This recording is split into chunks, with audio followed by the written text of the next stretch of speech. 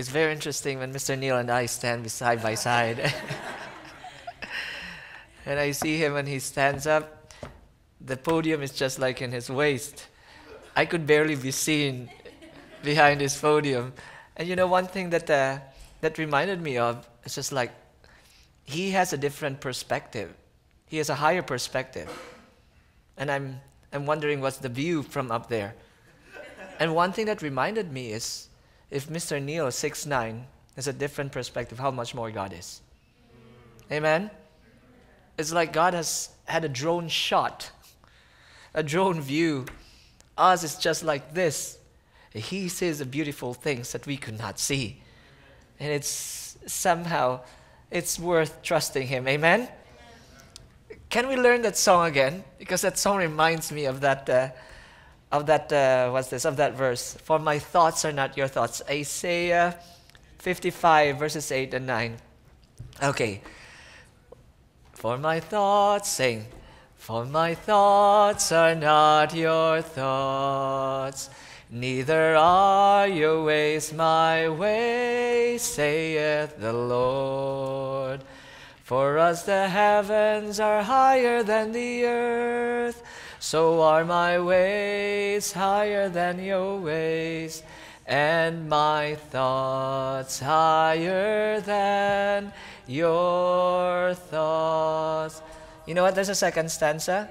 The second stanza is the verse that we used last night, Jeremiah 29, verse 11. For I know the thoughts that I think toward you, thoughts of peace and not of evil to give you unexpected end. And then back to, for my thoughts are not your thoughts. Let's try the Jeremiah 29 11. For I know the thoughts that I think toward you, thoughts of peace and not of evil, to give you unexpected end. Okay. For my thoughts are not your thoughts, neither are your ways my ways, saith the Lord. For as the heavens are higher than the earth, so are my ways higher than your ways, and my thoughts higher than your thoughts.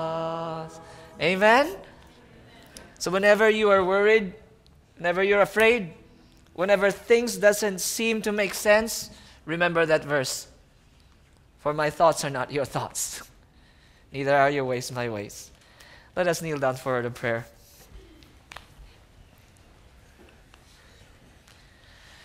Our great God, our dear loving Heavenly Father, Lord, thank you so much for another day. And we praise and we thank you that your thoughts are higher than our thoughts. And your ways are way higher than our ways. And Lord, we praise and we thank you that every time we kneel down, we know where our place is. You know that you are God. You know that you are the one in charge. And thank you, Lord, for reminding us to be still and know that you are God. Dear Father, I pray that uh, today may you prepare our hearts for what you're about to do to us today. May you open our hearts that you may be able to, to speak to us. And Lord, I pray that you please give us the heart that would be willing to receive you. Please anoint us, dear Father, with the anointing of your Holy Spirit. Again, dear Lord, hide me behind the shadow of your cross. Please move me out of the way that Jesus and Jesus alone be seen, be heard, be lifted up, and exalted. This is our prayer, dear Father.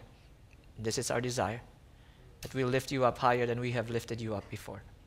For we ask this in the loving name of your Son Jesus, all your children say, Amen. If you have your Bibles with you this morning, please open it in John chapter 15. What's the book? John chapter 15. If you're there, say amen. If you're not there, say, Have mercy. Okay. So, John 15.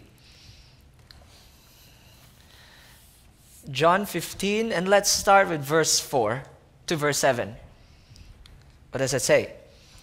Abide in me, and I in you. As the branch cannot bear, bear fruit of itself, except it abide in the vine, no more can ye, except ye abide in me. I am the vine, and ye are the branches. He that abideth in me, and I in him, the same bringeth forth much fruit. For without me ye can do nothing. If a man abideth, abide not in me, he is cast forth as a branch and is withered, and men gather them and cast them into the fire, and they are burned. 7. If ye abide in me, and my words abide in you, ye shall ask what ye will, and it shall be done unto you. What's the verse, uh, what's the word here that has been repeated? Abide. Without looking at your Bible. Without looking at your Bible, how many times was it repeated? Ten? Seven. Okay. Nice guess. Seven. And friends, when you look at the, the Bible, when the word is repeated two times, what does it mean? It's important. When it's repeated three times, what does it mean? Very important. When it's repeated seven times, perfectly important. Amen? It's perfectly important. It's really, really, really, really, really, really, really important. And friends, who among you here has, has watched this? Has a red letter Bible? What's, what is the color of that uh, series of verses? Huh? Red. What does that mean when it's written in red? Jesus said it. Friends, look at this. Seven times was it repeated, and it's red. What does that mean now? It's very, very important. Jesus Himself brought those words seven times in just four verses. In just four verses, seven times was it repeated. It means to say that Jesus is trying to get your attention here. It's like you are warning somebody, hey, do not go to the edge of the pool. Hey, do not go to the edge of the pool. Hey, do not go to the edge of the pool. But just imagine if it's repeated seven times. That should get your attention. And this, these words right now should get our attention. So I was I was trying to I was trying to, to look at the word abide, and it says here, from the definition, from the definition, okay, Listen, it says to remain as one. This is abide. All the while I thought that abide is just like hanging out. Did you get this? I say, I will abide with you as we go back home. Let's, let's walk together. All the while I thought that that's abide. Okay, when you reach home, bye bye, I'll go to my home as well. But it says here to remain as one. And the next line was to be held or to be kept continually. Whoa. To be held and to be kept continually. Friends, who's holding who? Who? God is holding us. God is what? Holding us. And continually. Did you get this? And this is one thing I, I realized, friends. Before anything else, I'd like to ask this question who among you here has seen couple holding hands? Now, of course, the single people, you get jealous, don't you? and especially when they hold hands, even when they eat. Oh, yeah. Have you seen people holding hands while they eat? The other one has to compromise, use the left hand. And I'm thinking, give me a break. it looks so cheesy, isn't it? sometimes it's irritating, especially for single people like us. I heard a loud yes there. but this is the thing, friends. This is a relationship that God wants to have with us. He wants to hold us continually. Isn't this amazing?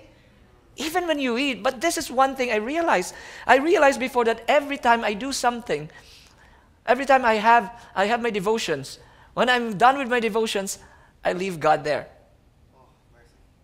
And I go to my I go to my work, I go to, to school with God, not with me.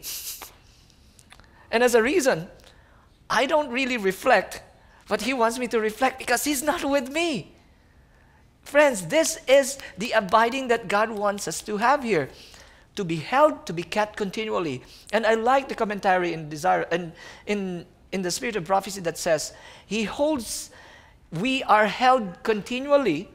And I remember this, this beautiful verse in, in Romans neither height nor depth or any other creature, principalities could ever separate us from the love of God. And it says there in the commentary, it's not because we hold he, we hold him so we hold him so tight, but it, because he holds us so fast. It's his grip that's not letting us go. Isn't that beautiful? And friends, a beautiful thought here from Desire of Ages. One of my favorite chapters in Desire of Ages. This is one of the longest chapters. Is a chapter entitled Let Not Your Heart Be Troubled. Let not your heart be troubled. And this is where it was talking about this, this, uh, this passage, the abiding. And it says here, this is the definition of abide.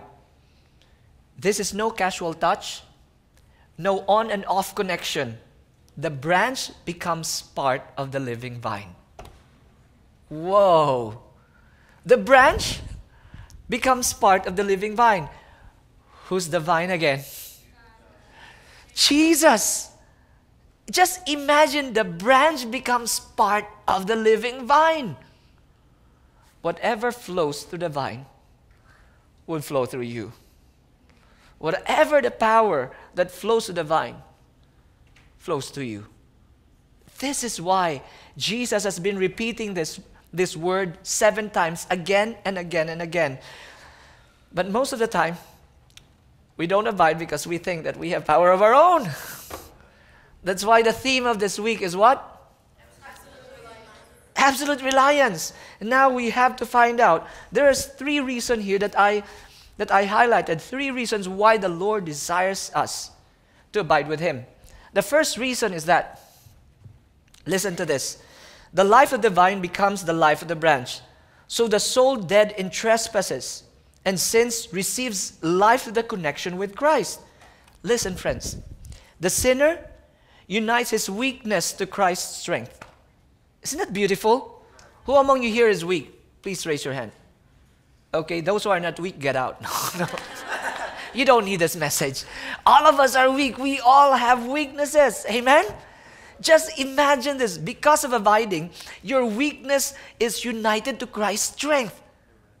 Next one, his emptiness to Christ's fullness. Who among you here felt emptiness at one point or another? Or even now? Friends, just imagine that emptiness will not be filled by fame, will not be filled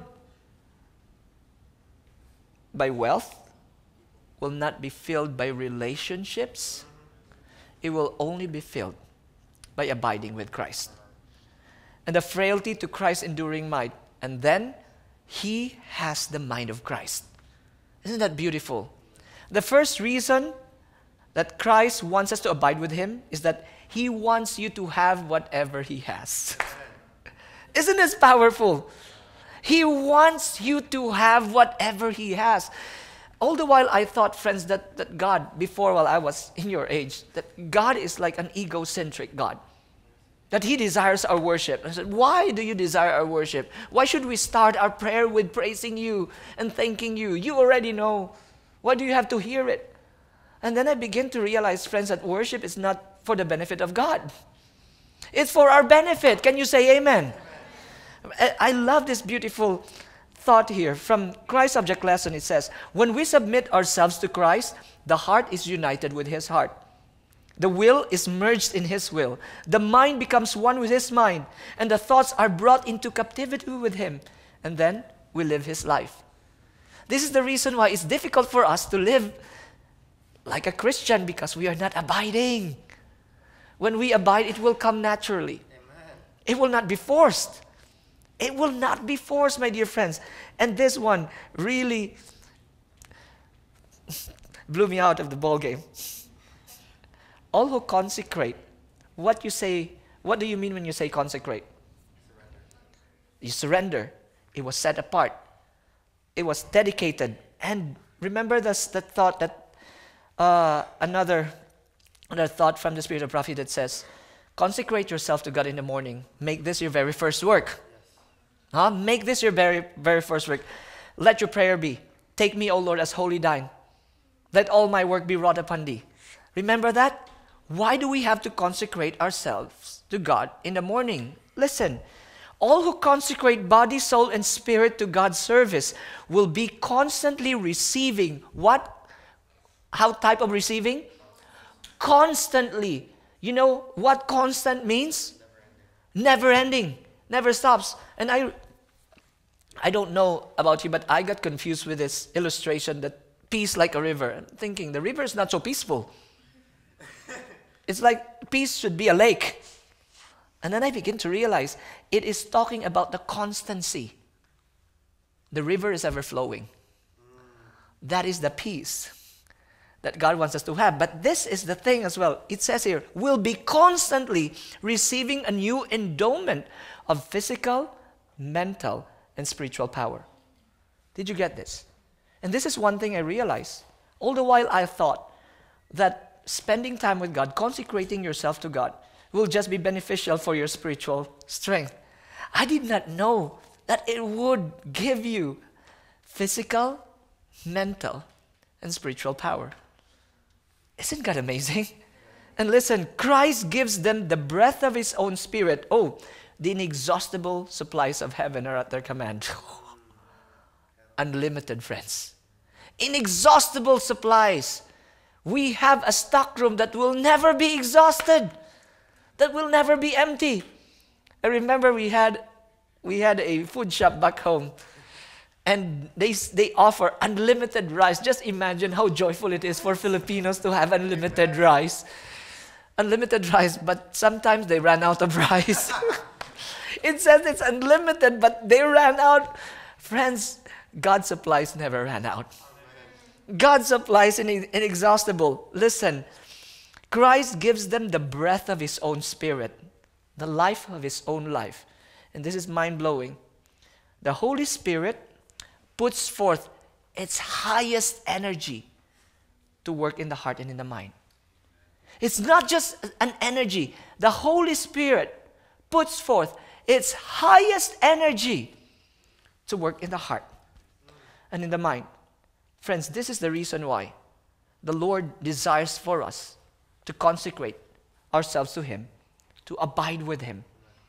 And this, this, this beautiful thought from Christ the lesson as well, it says, as the will of man cooperates with the will of God, my definition here, as the will of man abides with the will of God, it becomes what? Omnipotent or invincible. It becomes omnipotent. And English is not my first language, so I looked up what's the meaning of omnipotent. Omnipotent, almighty, possessing all power. Whew. Possessing all power. The reason that God wants us to abide with Him is because He desires to impart power to us. So stop running away. Stop playing hard to get. You'll not find power on your own. And you'll not find power in the world. You'll not find power in relationships, in wealth, in fame. You cannot find it. You could only find it in abiding in Him. Amen? Amen? Don't make your own mistake. Look back in the past. Read this and check it out. They would not have power unless they come to the Lord. Amen? Friends, gospel is so simple. If a child could not understand it, it's not a gospel. the gospel is very simple. Abide, connect, power. Without, no power. No life. No life. Listen to this, friends. Oh. Number two, the reason why Christ wants us to abide with Him. It says, the life of the vine will be manifest in the fragrant fruit on the branches. He that abideth in me, said Jesus, and I in him, the same bringeth forth much fruit. The Lord wants us to abide in him because he wants us to bear fruit. Amen? There was one time that our church was talking about the fruits of the Spirit, focusing so much on, on the fruits of the Spirit, on the fruit of the Spirit. And friends, we're talking so much about the fruit of the Spirit, but the only way to have the fruit of the Spirit is to abide. Amen? We should be talking more about abiding. The fruit will just be the result of the abiding. And it says, He'll bear much what? Fruit. The description in Desire of Ages, not just much fruit, much what? Fragrant fruit. Friends, what does fragrant fruit do to you? Hungry. Oh, you get hungry. When you walk in a supermarket and then it destroys your walk. you have you have one thing in mind that you want to buy and then you walk, mm, where's that durian? I could see Mrs. Clark's face like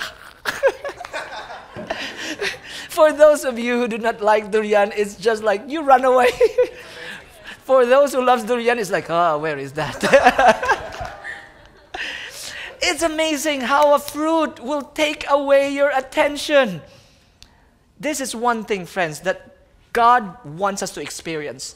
The moment we bear fruit, the moment we bear fragrant fruit, it stops people on their on their work, on their journey, on their pace.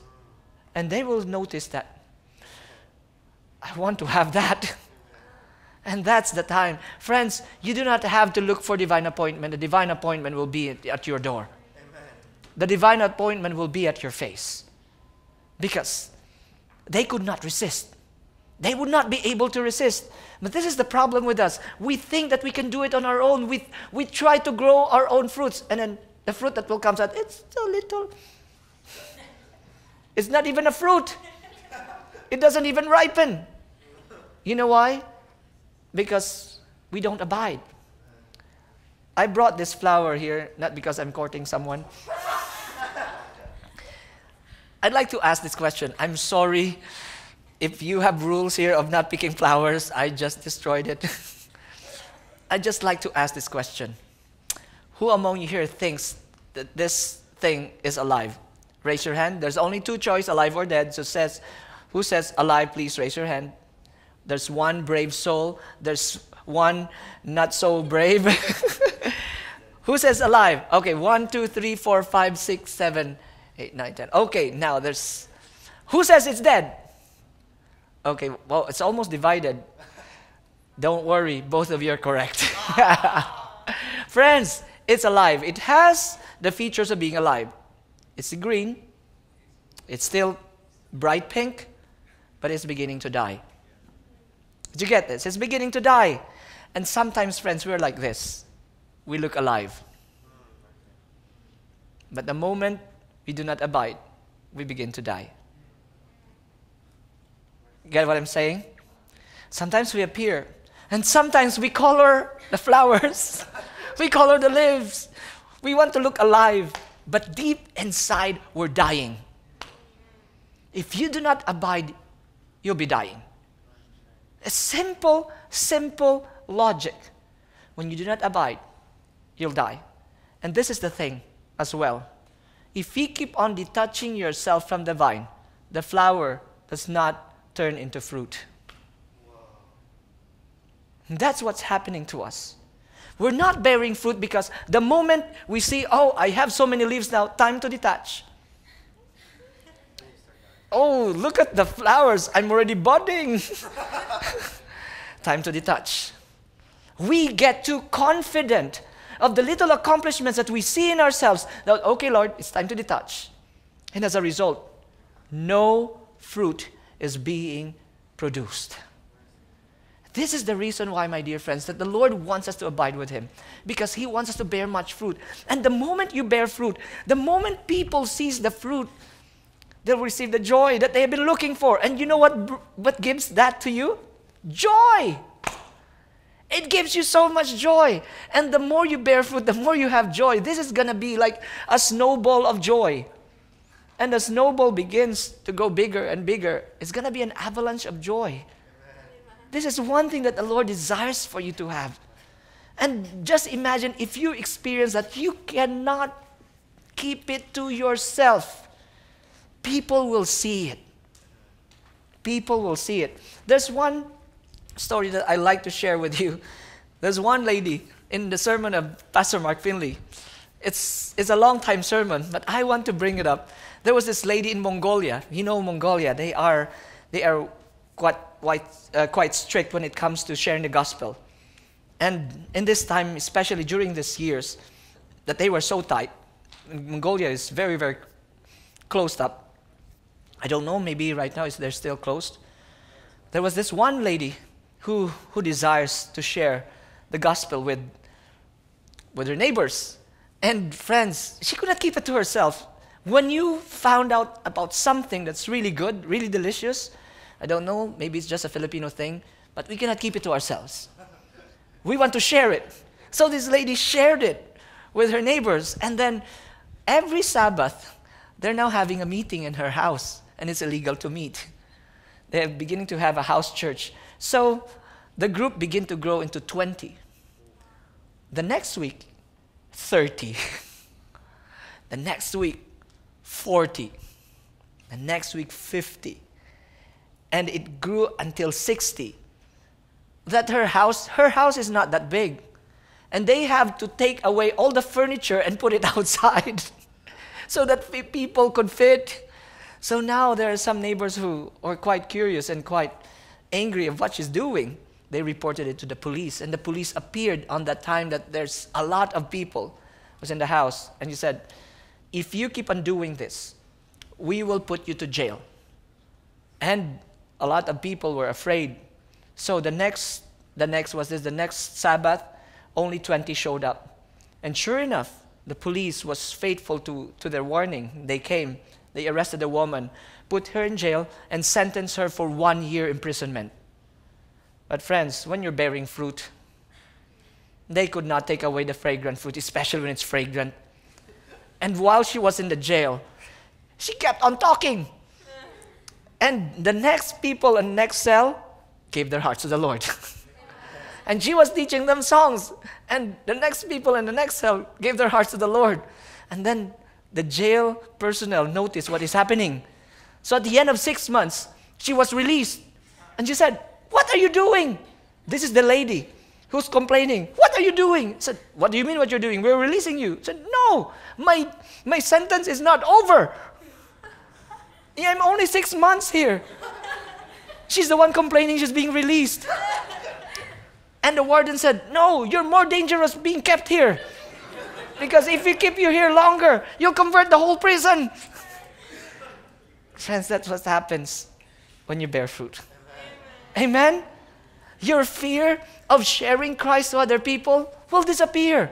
Because your excitement to share, your desire to share will overwhelm, overwhelm your fear. Friends, you know what's my biggest fear before? Is to share Christ, in, especially in front of people. Seriously, I'm a sanguine. You see me, I'm like a pure sanguine. Half sanguine, half penguin. I'm sanguine. But that's my greatest fear to share Christ. You know what? All the things I shared before was foolishness. All the things. I'm the life of the party. It's all foolishness. I'm known for I'm known for crazy gem and all. And my greatest fear was, well, people will see me as a holy gem. No, I don't want that. A faithful gem that will that will destroy my reputation. I'm thinking, what reputation is that? And then, friends, you know what? The moment you have Christ in you, you don't care about your reputation. Amen. You don't care about your image. Amen. What you care about it's just sharing what you have. It will come out naturally. Amen? That's why Christ wants us to bear fruit. Not just sim- simple fruit, but fragrant fruit. That's what He desired. Last. Okay, praise God, it's last, huh? Number three. Number three, listen to this. It says, The life that you have received from me can be preserved only by continual communion. Without me, you cannot overcome one sin or resist one temptation. First, what is the number one reason why the Lord desires that we abide in Him? He wants us to have power. He wants us to what? To have what He has.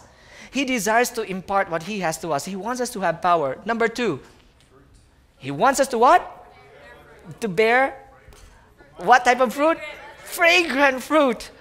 And the third, listen, listen to this. This blew my mind. Desire of Ages, page 679, paragraph 2. He knew that the life of his trusting disciples would be like this a series of uninterrupted victories. Can you say amen? amen? This is what the Lord desires for his people to experience a series of uninterrupted victories. Isn't that powerful? A series of uninterrupted victories, my dear friends. Who among you here is tired of being defeated again and again? Friends, that's not what God designed. What God designed was uninterrupted victories. And that's the only result when we abide with Him. And listen, Though apparent impossibilities obstruct their way, by His grace they are to go forward. Instead of deploring difficulties, they are, to be, they are called upon to surmount them. They are to despair at nothing and hope for everything. With golden chain of His matchless love, Christ has bound them to the throne of God. It is His purpose that the highest influence in the universe, emanating from the source of all power, shall be theirs. Amen. And last line they are to have power to resist evil, power that neither earth, nor death, nor hell can master, power that will enable them to overcome as Christ overcame. Friends, this is the life that Christ wants us to have. This is the reason why seven times he repeated that word abide in just four in just four verses. Friends, if this does not get our attention, I don't know what will. I, this, this is the whole solution that God is offering to us. What are we going to do about it? And it's funny because we were talking about, was it last night or maybe this morning? Oh, I know, I think yesterday, while we're sitting at a table, we're talking about how ungrateful we are that we receive God's gifts and not thank Him. And then, you know what? I told them, you know what's the worst thing? I said, what's the worst thing? We don't even receive the gifts. We just turn around without even what? Without receiving it. Christ is giving us so much, and do, what do we do?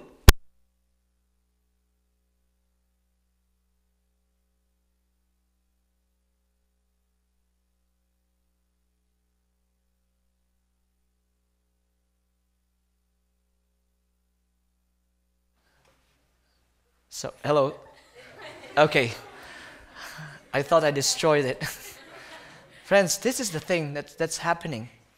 God is offering us all the powers of heaven at our command. But we are closing our hands. We're thinking, Lord, I don't want to abide. Lord, I don't want to connect. The Lord desires that each one of us would receive whatever He has. The victory that He has experienced, He wants you to experience. If we don't pay attention with what He's offering, I don't know what will bring us to the pit that we are in. Friends, we need Him. Absolute reliance is the only way. Abiding is a joyful thing. Amen? Listen to this thought.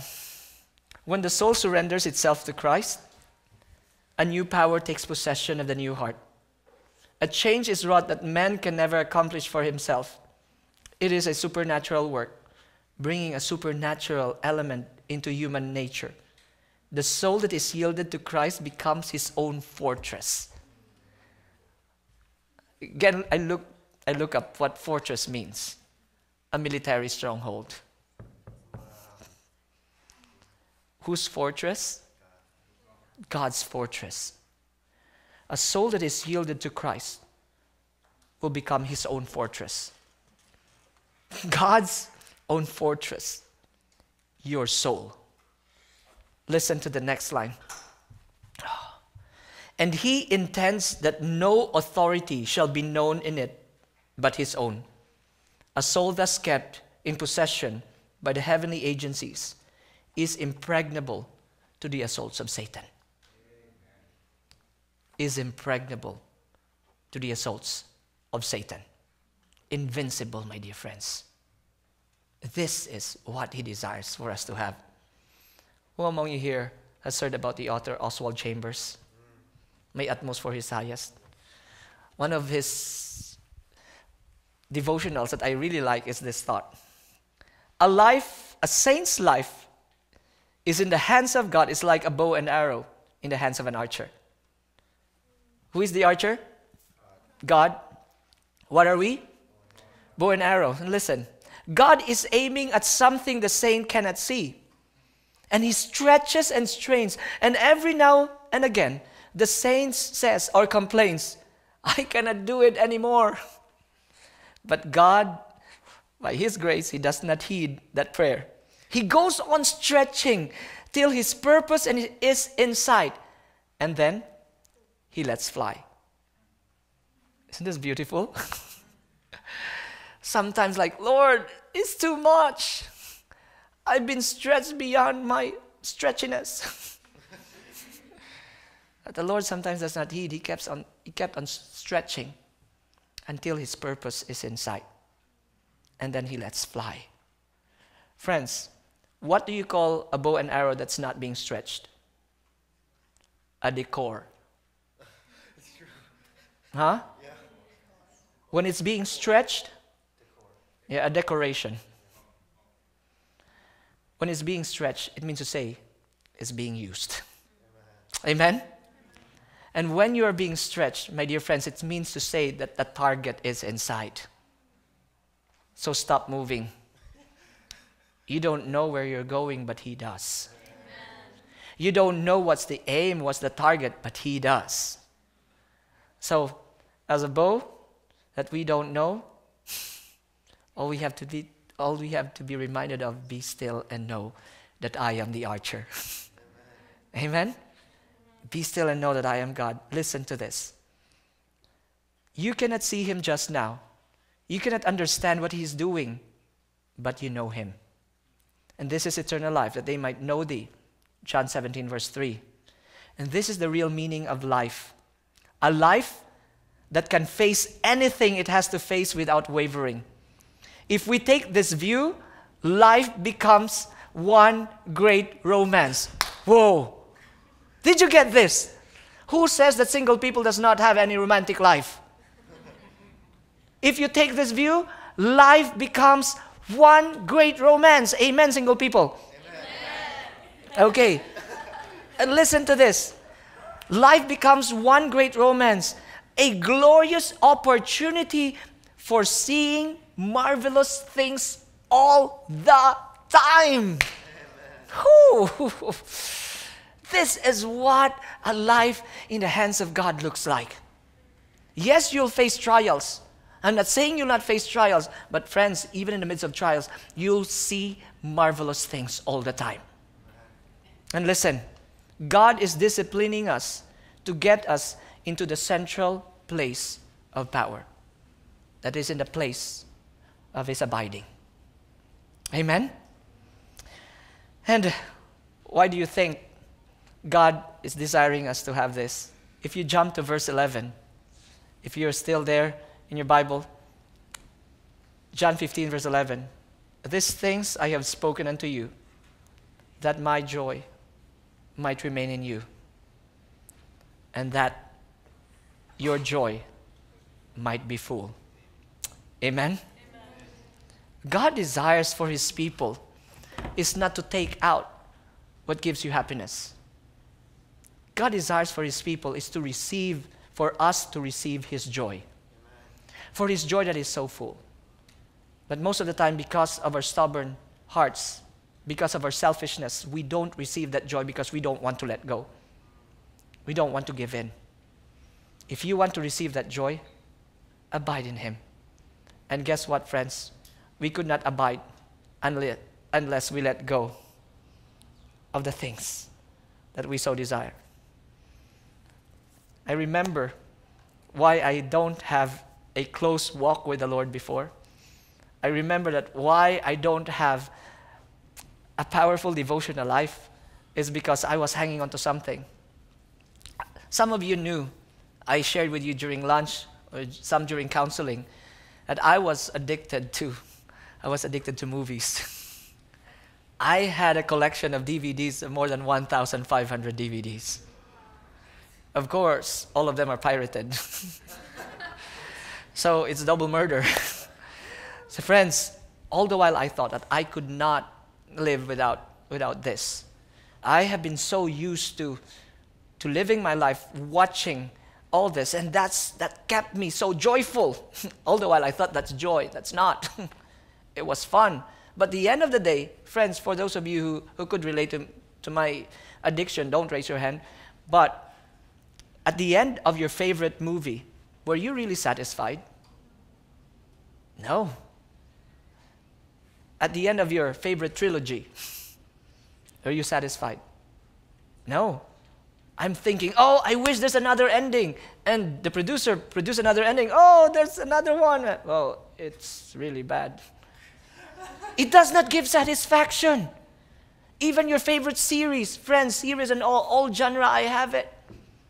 It does not give you satisfaction. Only God can. And unless you let go of that, my dear friends, you'll not be able to abide. And you know what, what happened afterwards? When we let go? It's funny because you know what? We had this youth conference, and I'm, I'm the president of that youth conference. And there's this speaker who spoke about wonderful experiences, faith experiences, and he talked about all these things. And then he gave an appeal in the end. He said, If you want to be in Christ, in Christ on Christ's side, you have to let go of the world. You could not be on both worlds. That's the worst torture of all. One foot in the world, one foot with God. He said, if you want to choose the world, choose the world 100%. If you want to choose Christ, choose Christ 100%. And he said, I'll assure you, if you choose the world, you'll never find happiness. Because joy is only found in the presence of God. So, friends, I came forward. And I came forward and I was crying. You know why? Because I'm thinking, I have never, I have not watched 300 of those DVDs that I bought yet. friends, and I'm thinking, what's life gonna be after DVDs? But you know what happened? life just began. life just began. All the while, I thought that I was enjoying my life by spending so much time in those things that takes away my attention from the Lord. But actually, it stopped me from seeing the real meaning of life. The moment I let go of that, my desire to read the Bible began to grow. My desire to read the Spirit of Prophecy, and I'm thinking, Spirit of Prophecy, that's so boring, man. My mother tells me, read the Desire of Ages instead of watching TV. That was before. and I read the Desire of Ages and my desire to sleep came over me. the next morning I said, it's morning. this is a good sleeping pill. and friends, you know what? The moment I let go of those things, the Lord opened my eyes and I saw the beauty of it. My favorite book is Desire of Ages. And I highlighted it. I, I have only one highlighter color before. And I, I was highlighting, so, oh, what is this? It's the whole page that I highlight already. And I'm thinking, how can I how can I highlight the most important things and the important things? And I begin highlighting vertically on the side. this is what happens, friends. And I was I was reading the story of Jonathan and his armor bearer while they fought the Philistines. Only two of them fighting the whole army with armies, with footmen, numberless as the sand of the seashore. Only two of them. And they were trying to shot an arrow against Jonathan and his armor bearer. And it says there, in that spirit of prophecy, it says, But the arrows and the bows could not reach them because the angel of the Lord was shielding them. Friends, that did not happen in Lord of the Rings. They have to wait for armies to come. But their real story, not fiction, is greater than fiction. Way, way greater than fiction. And I'm thinking, oh Lord, I've wasted time, money, resources, and brain cells watching all those things. That's not even real. Friends, I tell you, real things are even mind blowing than fiction. Spend more time. I do not, I did not even realize that, prof, that patriarchs and prophets would give me so much excitement.